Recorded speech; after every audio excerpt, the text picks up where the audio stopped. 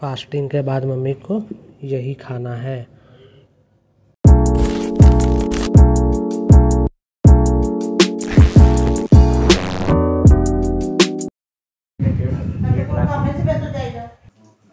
Light जला दे।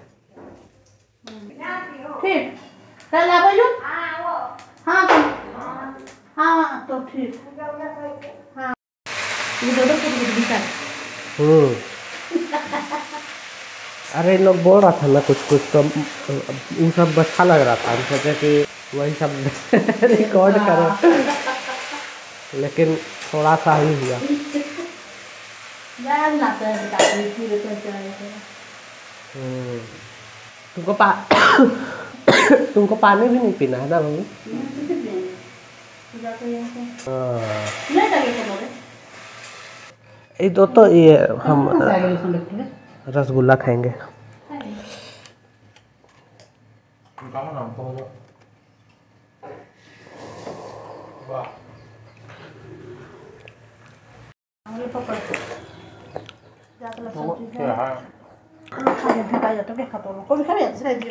नहीं नहीं, खाने दो ना।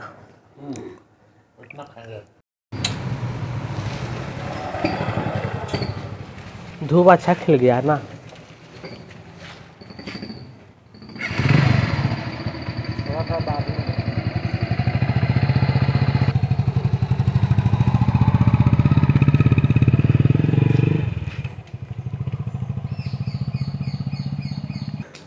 गाड़ी को भी देख लेते हैं, खोल के दो तीन दिन से नहीं खोले हैं, वैसे ही गाड़ी रखा हुआ है। स्टार्ट भी नहीं किए हैं। गाड़ी को स्टार्ट कर लेते हैं एक बार। पेड़ से इतना गिरा है ना कचरा ही, वो साफ़ करना पड़ेगा। पेड़ के नीचे पेड़ के नीचे गाड़ी खड़ा करने से यही होता है। मम्मी गाड़ी का डैशबोर्ड है ना, वो धुल जाएगा इससे। इसको मारेंगे ना गाड़ी का उसमें, डैशबोर्ड में, दरवाज़ा ये सब में तो अपने धुल मतलब ये हो जाएगा, साफ़ हो जाएगा उससे। तो अभिषेक के घर के बाहर तो आ गए, लेकिन हमको बुला के खुद गायब हो गया है। अभी कॉल किए हैं तो बोला है आते हैं, अब देखते हैं कितना देर में आता है। फ़िलहाल तो वेट ही कर सकते हैं।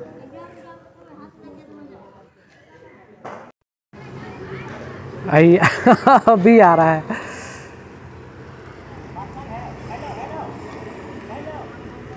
हम सोचे घुमा बुला के कहाँ भाग गया तुम?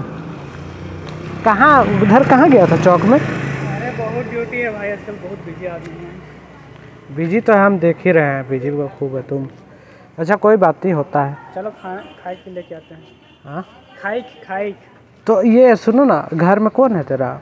मतलब किसी को छोड़ के आया कहीं पे?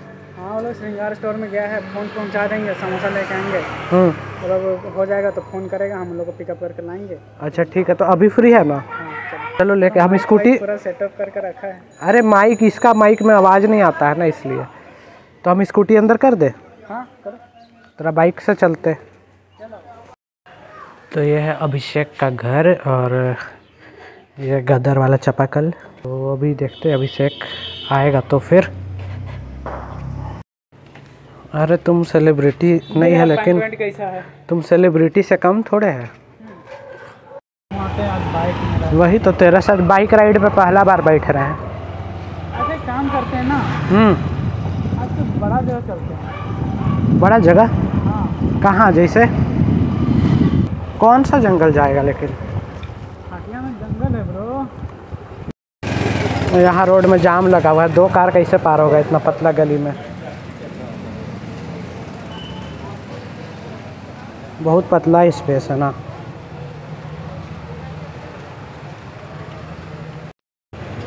इधर स्कूटी खड़ा है।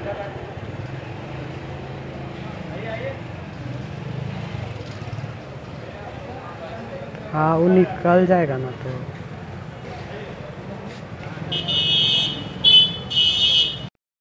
कौन बाबू है मेरा भगना है। अच्छा भैगना है। क्या बाबू? क्या नाम है? क्या नाम है?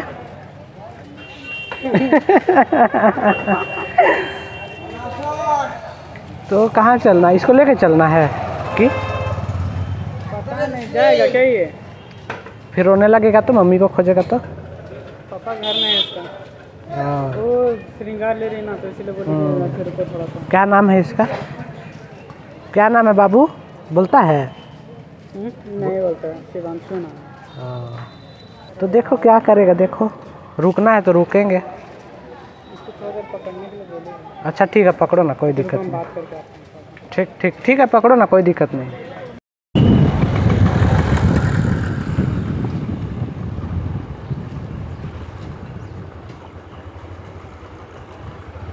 पता है सबको घुमा लिया बाइक में। हम्म। घूम लिया तो हम भी घूम लिया। हम्म। खाली हम नहीं घूमे थे आज हम भी घूम लिए।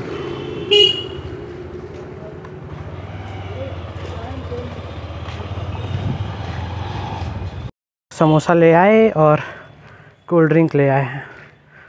और यही है अभिषेक का छत। यहाँ बहुत अच्छा लगता है।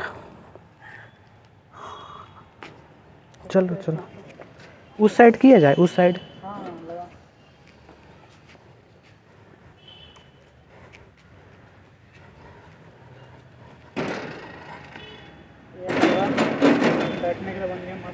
हम्म।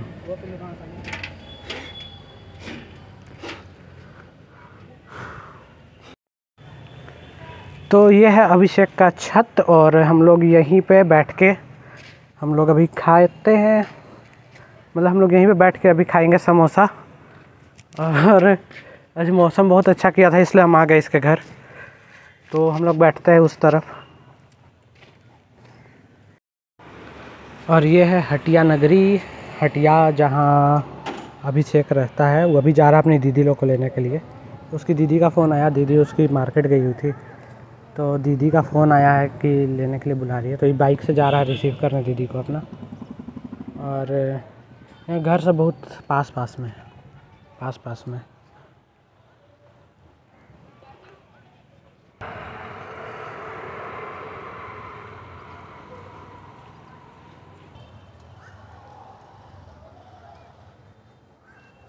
एक आधा तब तक हम आपको इन लोग का छत दिखाते हैं कि इन लोग का छत कैसा है।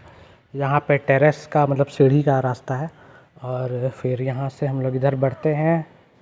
तो ये पीछे का इसका पोर्शन और घर कितना कॉम्पैक्ट है। कम स्पेस में बना हुआ है, बहुत कॉम्पैक्ट है। उधर भी घर सब है, बना हुआ इधर पूरा।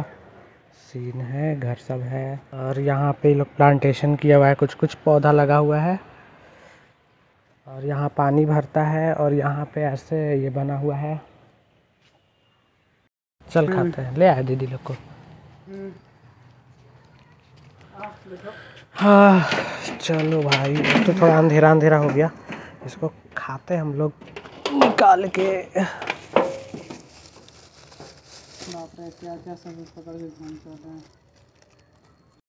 और यहाँ हम लोग का समोसा। बहुत मस्त समोसा रहता है और यहाँ कोल्ड ड्रिंक। हम लोग का ही सही पार्टी चलता है। तो इसको खाने के बाद हम लोग मिलते हैं। ये सब कल बनेगा ना? हम ला दिए हैं ये चावल। हमको जो खिलाएगी हम खा लेंगे। भूख नहीं लग रहा है। मतलब नहीं लग रहा भूख। ये सब कल का तैयारी कल बनेगा। मतलब मम्मी कल बनाएगी ये सब। फास्टिंग के बाद मम्मी को यही खाना है। मम्मी उपवास करती है तो मम्मी को और एनर्जी हो जाता है। तो? अरे तो हम लोग कर लेंगे। हम तो बोले तो हम बना लेंगे हाँ, सब्ज़ी सब सब तुम ब- बनाने लगे हम तो अभी मार्केट से आ रहे हैं। हम्म, अरे तो तो गाइज़ मेरे एक नाना है, उनका तबीयत बहुत ख़राब हो गया तो वो अभी एडमिट है हॉस्पिटल में, और फ़ोन हमको अभी ही आया थोड़ा देर पहले तो कल जाएँगे उनको देखने के लिए। मेरा दोस्त है वहाँ हॉस्पिटल में तो वो पता करके बताएगा, उसके बाद फिर कल हम जाएँगे। तो गाइज़ आज के ब्लॉग को यहीं एंड करते हैं, और मिलते हैं आप लोग से कल अगले ब्लॉग में।